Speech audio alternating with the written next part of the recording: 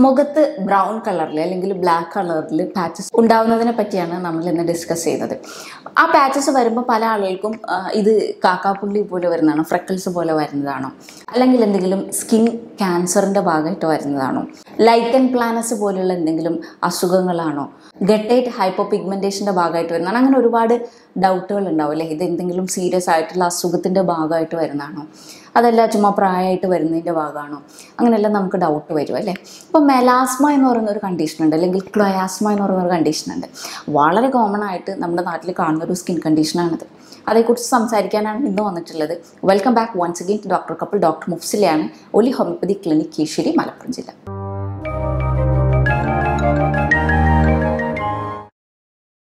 അപ്പോൾ എന്താണ് ക്ലോയാസ്മ അല്ലെങ്കിൽ മെലാസ്മ എന്നറിയോ? പ്രത്യേകിച്ച് യാതൊരു രീതിയിലുള്ള ബുദ്ധിമുട്ടുകൾ അതായത് ചൊറിച്ചിലോ വേദനയോ പോലുള്ള യാതൊരു രീതിയിലുള്ള ബുദ്ധിമുട്ടുകളും ഉണ്ടാക്കാത്ത വളരെ പതുക്കെ തുടങ്ങി കുറേ നാൾ നീണ്ടു നിന്നേക്കാവുന്ന ഒരു കണ്ടീഷനാണ് മെലാസ്മ ബ്രൗൺ കളറിൽ അല്ലെങ്കിൽ ബ്ലാക്ക് കളറിൽ മുഖത്ത് പ്രത്യേകിച്ചും മുഖത്ത് ഈ കവിളിന്റെ ഭാഗത്ത് നമ്മുടെ ഈ താടിയുടെ ഭാഗത്ത് ലിപ്സിന്റെ അപ്പർ ലിപ്സിന്റെ ഈ ഒരു മുകൾ ഭാഗത്ത് ഫോർഹെഡിലൊക്കെയാണ് ഇത് കൂടുതലായിട്ട് കാണാറുള്ളത്. ഇത് വരുമ്പം നമുക്ക് മറ്റ് ബുദ്ധിമുട്ടുകളൊന്നും ഇല്ലെങ്കിലും പല ആളുകളുടെയും ഒരു കോൺഫിഡൻസ് പ്രോബ്ലം ആയിട്ടും പല ആളുകൾക്കും ഒരു സൗന്ദര്യ പ്രശ്നമായിട്ടൊക്കെ ഇതിനെ ഫീൽ ചെയ്യാറുണ്ട്. അത്തരം ആളുകൾക്ക് സ്വാഭാവികമായിട്ടും ഇതിന് ട്രീറ്റ്മെന്റ് എടുക്കാം. അതല്ല നിങ്ങൾക്ക് ഇതൊരു പ്രോബ്ലം ആയിട്ട് തോന്നുന്നേ ഇല്ലെങ്കിൽ പ്രത്യേകിച്ച് ഇതിന് ട്രീറ്റ്മെന്റ് എടുത്തിട്ടില്ലെങ്കിലും കുഴപ്പമൊന്നുമില്ല കേട്ടോ. ഞാനിത് പറയാൻ കാര്യം എന്താണെന്നറിയാം. പല ആളുകൾക്കും ഇത് ക്യാൻസറസ് ആകുമോ എന്ന് പേടിച്ചിട്ടാണ് ഇതിന് ട്രീറ്റ്മെന്റായിട്ട് വരുന്നത്. മെലാസ്മയാണ് നിങ്ങളുടെ കണ്ടീഷനെങ്കിൽ അതൊരിക്കലും ക്യാൻസറസ് ആയിട്ട് മാറില്ല കേട്ടോ. അതിന് ക്യാൻസറായിട്ട് വളരാനുള്ള കഴിവൊന്നുമുള്ള ഗ്രോത്ത് ഒന്നും അല്ലാതെ. അപ്പോൾ ഒരു ക്യാൻസർ ആവുമെന്ന് പേടിച്ചിട്ട് നിങ്ങൾ ഈ മെലാസ്മയ്ക്ക് പോയി ട്രീറ്റ്മെന്റ് എടുക്കേണ്ട കാര്യമില്ല. പിന്നെ എന്താണ് മെലാസ്മ നമ്മുടെ സ്കിന്നിന്റെ ലെയറുകളാണ് എപ്പിഡെർമിസും ഡെർമിസും ഈ എപ്പിഡെർമിസ് എന്ന് പറയുന്ന ഭാഗത്ത് മെലനോസൈറ്റ്സ് എന്ന് പറഞ്ഞിട്ടുള്ള കോശങ്ങളുണ്ട്. നമ്മുടെ ശരീരത്തിന് ബ്ലാക്ക് കളർ എവിടെയൊക്കെ വേണം? നമ്മുടെ മുടിയിൽ വേണം. നമ്മുടെ കണ്ണിന്റെ ഉള്ളിൽ കൃഷ്മണിക്ക് വേണം. അങ്ങനെ നമ്മുടെ ബ്ലാക്ക് കളർ ആവശ്യമുള്ളിടത്ത് കൊടുക്കുന്ന അല്ലെങ്കിൽ ബ്ലാക്ക് കളർ പ്രൊഡ്യൂസ് ചെയ്യുന്ന സെൽസ് കോശങ്ങളാണ് മെലനോസൈറ്റ്സ് ഈ മെലനോസൈറ്റ്സ് ഇരിക്കുന്നത് നമ്മുടെ എപ്പിഡെർമിസിലാണ് അപ്പോൾ ഈ മെലനോസൈറ്റ്സ് കൂടുതലായിട്ട് മെലാനിനെ പ്രൊഡ്യൂസ് ചെയ്യും.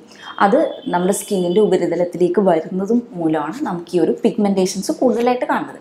എങ്ങനെയാണ് ഇത് പെട്ടെന്ന് ഒരു പിഗ്മെന്റേഷൻ ആയിട്ട് വരുന്നത്? മുമ്പേ നമുക്ക് മെലനിൻ ഉണ്ടാവുന്നുണ്ടല്ലോ. പിന്നെ പെട്ടെന്ന് എങ്ങനെയാണ് ഇതൊരു സ്പോർട്സ് ആയിട്ട് കാണുന്നത്? പല ആളുകൾക്കും തേർട്ടീസിലേക്ക് അവരുടെ മുപ്പതുകളിലൊക്കെ ആകുമ്പോഴാണ് പല സ്ത്രീകൾക്കും ഇത് കാണാം. ഈ ഒരു കണ്ടീഷൻ സ്ത്രീകളിലാണ് കേട്ടോ കൂടുതലായിട്ട് കാണാം. ഒരു പത്ത് ശതമാനം പുരുഷന്മാരിൽ കാണുമ്പോൾ തൊണ്ണൂറ് ശതമാനം കേസും ഇത് സ്ത്രീകളിലാണ് കാണപ്പെടാറുള്ളത്. അതിന് കാരണങ്ങളുമുണ്ട് മെലാസ്മയുടെ ഏറ്റവും പ്രധാനപ്പെട്ട കാരണം സൂര്യപ്രകാശം ഓവറായിട്ട് ഏൽക്കുന്നതാണ്. സൂര്യനിൽ നിന്ന് വരുന്ന യു വി റേസ് ആണ് സ്കിന്നിന് നമ്മളെ ഈ ഒരു തരത്തിൽ ഡാമേജ് ഉണ്ടാക്കിയിരിക്കുന്നത്.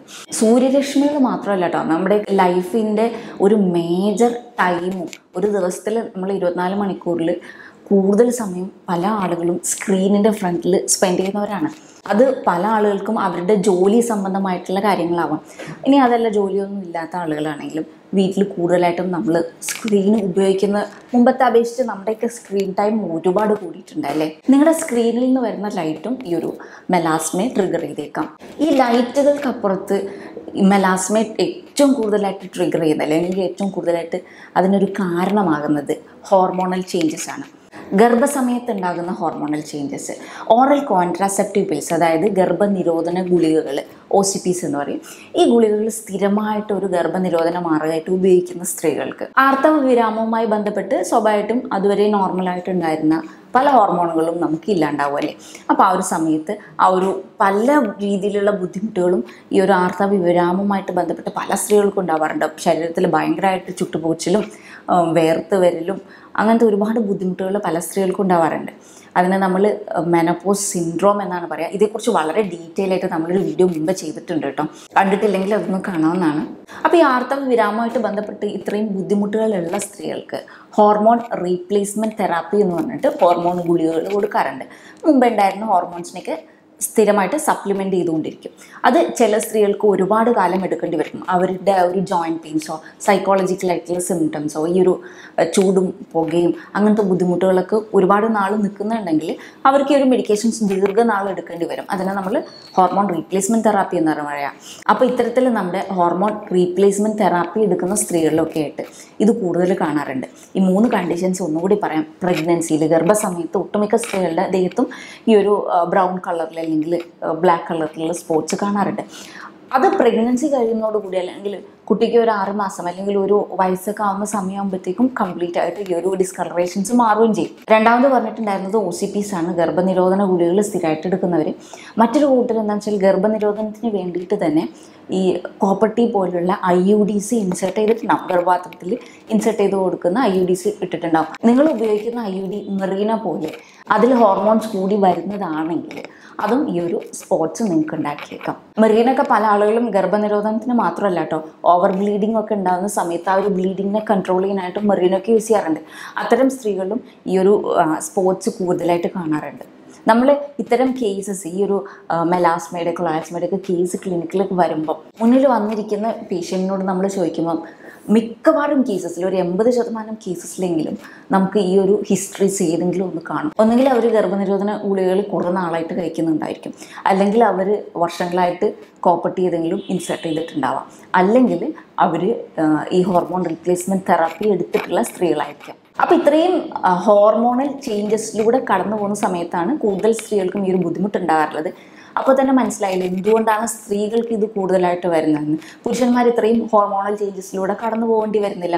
അതുകൊണ്ട് അവർക്ക് ഈ കേസസ് കുറവായിരിക്കും. ഇനി ചില അസുഖങ്ങളുടെ ഭാഗമായിട്ട് പ്രത്യേകിച്ച് ഹൈപ്പോ തൈറോയിഡ്സം പോലുള്ള രോഗാവസ്ഥയിൽ ഈ ഒരു മെലാസ്മയുടെ പ്രോബ്ലംസ് ചില ആളുകൾക്ക് കാണിക്കാറുണ്ട്. വർഷങ്ങളായിട്ട് ചില അസുഖങ്ങൾക്ക് മെഡിസിൻസ് കഴിച്ചുകൊണ്ടിരിക്കുന്ന പല ആളുകളിലും ഇത് കാണാറുണ്ട്. പ്രത്യേകിച്ചും ദീർഘനാളായിട്ട് സ്റ്റിറോയിഡ്സ് എടുക്കേണ്ടി വരുന്ന ആളുകൾ എൻ എസ് എയ്ഡ്സ് എടുക്കേണ്ട ആളുകൾ സൈക്കാട്രിക് മെഡിസിൻസ് ഒക്കെ ദീർഘനാളായിട്ട് എടുക്കുന്ന ആളുകൾ അവരിലേക്ക് ഈ ഒരു പ്രോബ്ലം കാണാറുണ്ട്. ഇനി നിങ്ങൾക്ക് പാരമ്പര്യമായിട്ട് നിങ്ങളെ അമ്മയ്ക്കോ നിങ്ങളുടെ സിസ്റ്റേഴ്സിനോ നിങ്ങളുടെ കസിൻസിനോ ഒക്കെ ഈ ഒരു മെലാസ്മയുടെ പ്രോബ്ലം ഉണ്ടെങ്കിൽ ഒരു ഏജ് ആകുമ്പോൾ നിങ്ങൾക്കും വരാനുള്ള ചാൻസസ് കൂടുതലാണ്. മെലാസ്മ ഉള്ള ആളാണ് നിങ്ങളെങ്കിൽ. അല്ലെങ്കിൽ നിങ്ങൾക്ക് അറിയുന്നവരുണ്ടെങ്കിൽ ഈ വീഡിയോ നിർബന്ധമായിട്ട് അവർക്ക് ഷെയർ ചെയ്ത് കൊടുക്കുക കേട്ടോ. അപ്പോൾ അവർക്ക് വീട്ടിൽ ചെയ്യാൻ പറ്റുന്ന കാര്യങ്ങളൊക്കെ പറഞ്ഞുതരാം. നിങ്ങൾ വീട്ടിലിരിക്കുന്ന ആളാണെങ്കിൽ അധികം വെയിലൊന്നും കൊള്ളാത്ത ഒരാളാണെങ്കിൽ പകൽ സമയത്ത് നിങ്ങൾ എസ് പി എഫ് തേർട്ടിയെങ്കിലുമുള്ള സൺ സ്ക്രീനുകൾ ഉപയോഗിക്കുക എന്നുള്ളത് വളരെ ഇമ്പോർട്ടന്റ് ആണ്. ഈ ഒരു സൺ റേസ് കൂടുതൽ വരുന്ന സമയത്ത് നിങ്ങൾക്ക് ഇത് കൂടും. ഡെഫിനറ്റായിട്ടും നിങ്ങൾ മെലാസ്മ ഉള്ള ആളാണെങ്കിൽ ഒരു നാല് ദിവസം അടുപ്പിച്ച് നിങ്ങൾ സൺസ്ക്രീൻ ഒന്നും ഇടാതെ പുറത്ത് പോയി കഴിഞ്ഞാൽ ഉറപ്പായിട്ടും നിങ്ങൾക്ക് ഇത് കൂടിയിരിക്കും.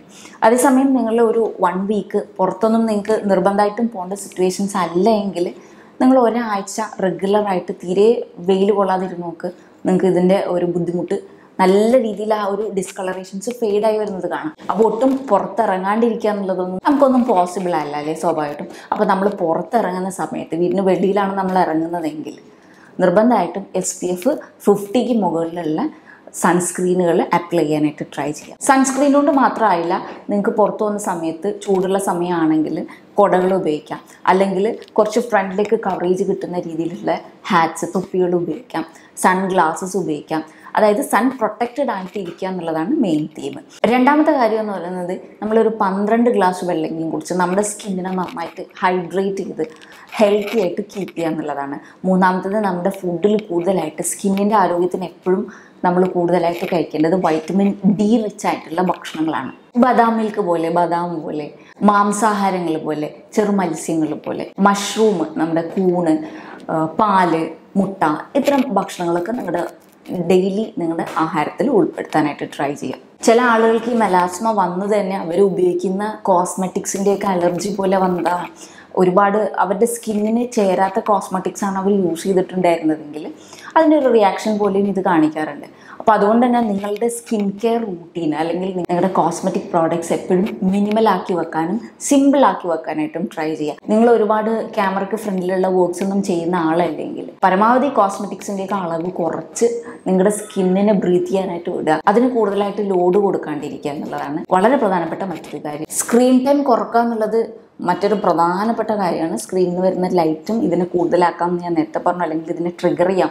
ഇത് തുടങ്ങാൻ ഒരു കാരണമാവാമെന്ന് ഞാൻ നേരത്തെ പറഞ്ഞു. അതുകൊണ്ട് തന്നെ സ്ക്രീൻ ടൈം കുറക്കുക എന്നുള്ളതും വളരെ ഇമ്പോർട്ടന്റ് ആണ്. പലപ്പോഴും ഇതിനൊരു ട്രീറ്റ്മെന്റ് ഓപ്ഷനായിട്ട് പല ആളുകളും സെലക്ട് ചെയ്യുക. കെമിക്കൽ പീലിംഗ് പോലെ അല്ലെങ്കിൽ ലേസർ പോലെയുള്ള വളരെ ചിലവ് കൂടിയിട്ടുള്ള ട്രീറ്റ്മെന്റ്സ് ആണ്. നമ്മൾ വൺസ് ഇത്രയും ടൈമും പൈസയും ഒക്കെ ഇൻവെസ്റ്റ് ചെയ്ത് ഇത്തരം ട്രീറ്റ്മെന്റ്സ് ചെയ്താൽ പോലും ഈ കണ്ടീഷൻസ് വീണ്ടും റെക്കർ ചെയ്യാനുള്ള ചാൻസസ് കൂടുതലാണ്. അപ്പോൾ പിന്നെ എന്താണ് ഇതിനുള്ളൊരു പരിഹാരം എന്ന് പറഞ്ഞാൽ നേരത്തെ പറഞ്ഞിട്ടുള്ള ജനറൽ മാനേജ്മെന്റ് നിങ്ങൾ വീട്ടിൽ ചെയ്യേണ്ട കാര്യങ്ങൾ. അത് സ്ട്രിക്റ്റ് ആയിട്ട് ഫോളോ ചെയ്യുക. അതിന്റെ കൂടെ തന്നെ നിങ്ങൾക്ക് ഹോമിയോപ്പതിക് മെഡിസിൻസും എടുക്കാവുന്നതാണ് കേട്ടോ ഹോമിയോപ്പതിക് മെഡിസിൻസ് വളരെ എഫക്റ്റീവായിട്ട് ഇത്രയും കണ്ടീഷൻസിൽ വർക്ക് ചെയ്യുന്നതായിട്ട് നമുക്ക് കാണാറുണ്ട്. ഒരുപാട് കേസസ് നമുക്ക് റിസൾട്ട് കിട്ടിയതുണ്ടായിരുന്നു. പക്ഷേ ഈ ട്രീറ്റ്മെന്റ് എടുക്കുന്ന സമയത്ത് നമ്മൾ ശ്രദ്ധിക്കേണ്ടത് വളരെ കൺസിസ്റ്റന്റ് ആയിട്ട് ക്ഷമയോടുകൂടി കുറച്ച് നാൾ കണ്ടിന്യൂസ് ആയിട്ട് മെഡിസിൻസ് എടുക്കേണ്ടി വരും. നമ്മളെടുത്തുന്ന ക്യൂർ ആയിട്ടുള്ള കേസസ് ഒക്കെ അവരെല്ലാം വളരെ പേഷ്യന്റ് ആയിട്ട് നമ്മുടെ കൂടെ നിന്നിട്ടുണ്ടായിരുന്ന ആളുകളാണ്. ഇത്തരം കണ്ടീഷൻസിനൊക്കെ നമ്മൾ ട്രീറ്റ്മെന്റ് എടുക്കുന്ന സമയത്ത് പല ആളുകളുടെയും ഒരു ധാരണ എന്ന് പറഞ്ഞാൽ പുറത്ത് സ്കിന്നിന്റെ പുറത്തുള്ള സാധനമല്ലേ അപ്പോൾ എന്തെങ്കിലും ജസ്റ്റ് ഓയിൻമെന്റ്സോ ക്രീംസോ ഒക്കെ മാത്രം അപ്ലൈ ചെയ്തുകൊണ്ട് ഇതിനെ കംപ്ലീറ്റ് ആയിട്ട് റെഡിയാക്കി എടുക്കാൻ പറ്റുന്നതാണ്. ശരിയാണ് ഇത് സ്കിന്നിന്റെ പുറത്തുള്ളൊരു കണ്ടീഷനാണ് നമ്മൾ ചിലപ്പം നമ്മുടെയൊക്കെ ട്രീറ്റ്മെന്റിന്റെ ഭാഗമായിട്ട് ഹോമിയോപ്പതിക് ട്രീറ്റ്മെന്റിന്റെ ഭാഗമായിട്ടും പല കേസസിലും നമുക്ക് ക്രീംസും കാര്യങ്ങളൊക്കെ കൊടുക്കേണ്ടി വരാറുണ്ട്. പക്ഷേ അത് മാത്രം പോരാ. ശരിക്കും ഇന്റേർണലായിട്ട് മെഡിസിൻസ് എടുക്കേണ്ടി വരും. ഉള്ളിലേക്ക് മെഡിസിൻസ് കഴിക്കേണ്ടി വരും. എന്നിരുന്നാൽ മാത്രമേ ഇത് കംപ്ലീറ്റ് ആയിട്ട് മാറിപ്പോകത്തുള്ളൂ കേട്ടോ. അപ്പോൾ ഏറെക്കുറെ ഇത്രയും കാര്യങ്ങളൊക്കെയാണ് മെലാസ്മയെ കുറിച്ച് പറയാനുണ്ടായിരുന്നത്. ഇനിയും നിങ്ങളുടെ സംശയങ്ങൾ തീർന്നിട്ടില്ലെങ്കിൽ അല്ലെങ്കിൽ ഇത്തരം സ്കിൻ കണ്ടീഷൻസിനെ കുറിച്ച് നിങ്ങൾക്ക് എന്തെങ്കിലും ഡൗട്ടുകൾ ഉണ്ടെങ്കിൽ അതെല്ലാം താഴെ കമന്റ് ചെയ്യുക. നമ്മുടെ ചാനൽ ഇതുവരേക്കും സബ്സ്ക്രൈബ് ചെയ്തിട്ടില്ലെങ്കിൽ മറക്കാതെ സബ്സ്ക്രൈബ് ചെയ്യുക. നിങ്ങൾക്ക് എന്തായാലും ഉപകാരപ്പെടുന്ന ഇൻഫർമേഷൻസുമായിട്ട് അടുത്ത വീഡിയോയിൽ കാണുന്നവരേക്കും ഡോക്ടർ മുഫ്സിലാണ് ഒലി ഹോമിയോപ്പതി ക്ലിനിക് കീശ്ശേരി